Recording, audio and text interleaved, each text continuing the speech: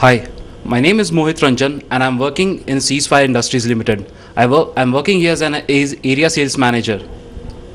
I'm working in Ceasefire Industries from last one and a half years. In the last past six months, I've done a sales turnover of six lakhs, and for the future six months, I'm looking forward to do my personal sales target as 36 lakhs.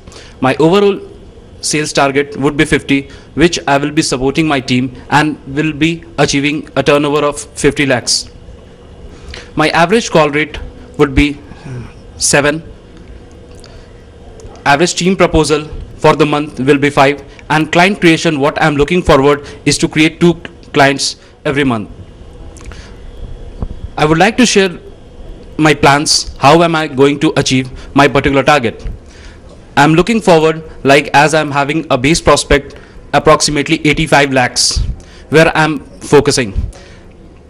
I'm looking forward to do this more of accompanied calls with my with quality presentation with my juniors to support the team to support and motivate the team.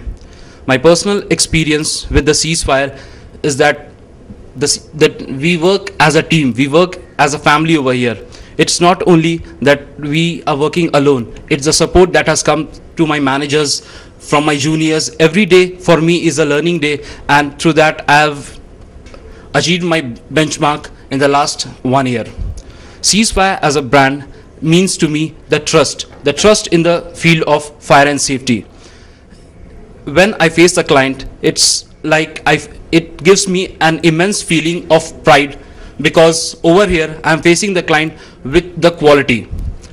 I would like to say that the cross culture that we are having over here, the people are from different background, different locations, and the communication between them is absolutely immense. So I would like to here conclude over that that we are a team, we are a family, and I pledge over here that in future there will be lot that I would look forward to bring in for my company's growth and organization. Thank you and Jai Ho.